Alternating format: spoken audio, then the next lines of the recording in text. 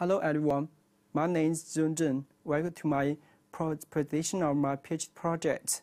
The title is Long-range interfacial electron transfer between my electrodes and uh, microorganisms. As we know, we need to eat food when we're hungry. But what chemical reaction is happening after we eat?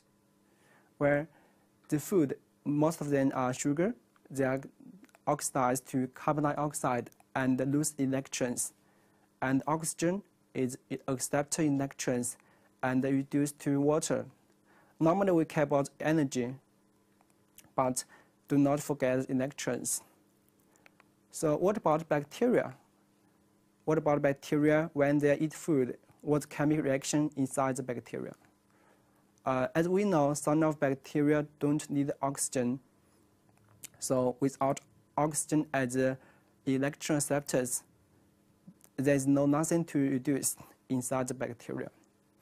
And uh, with more and more sugar is taken, the, there are more and more electrons inside the bacteria. But the bacteria is not capacitors. They cannot store the electrons forever, so they need to transfer electrons outside. And the process, the bacterial interchange electrons with the environment is called extracellular electron transfer, EET.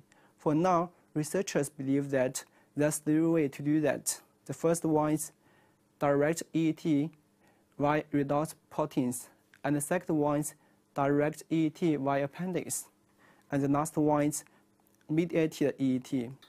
My, P my PhD project is to find out how the bacteria transfer electrons to outside and uh, what the electrons are transferred to.